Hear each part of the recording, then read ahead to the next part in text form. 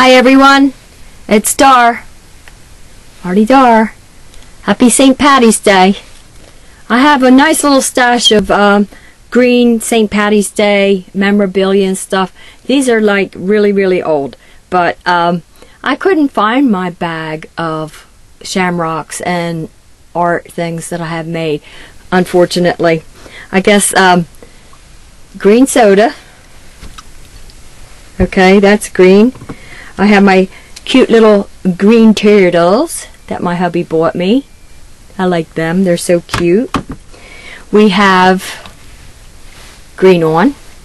We have the Hulk. He's definitely green, right? Urgh, happy St. Patty's Day, he said. Um, naturally, we have the greenback.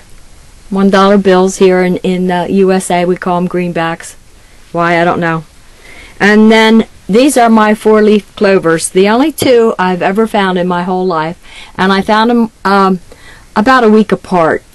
Um, my son is Irish. Um, Kelly is his last name. You can't get much more Irish than that. That's my favorite, favorite Irish. And um, what I really came on for, besides saying Happy St. Patty's Day, is to show my friend Dawn Edwards that I have her trade that we arranged finished. She wanted a captured fairy. So in browns and antique looking, so it's it it's a cutie patootie. Look at that face. She's like, you can let me out of the jar once in a while. I'll behave.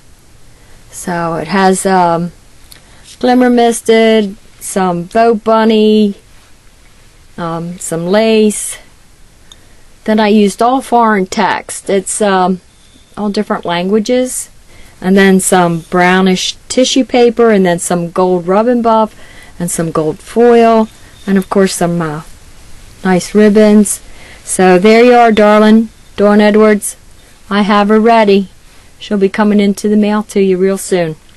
I hope you like her. So for now, cheers. That's my green soda. It's about as green as I'm going to drink today. All right, you all? Take care.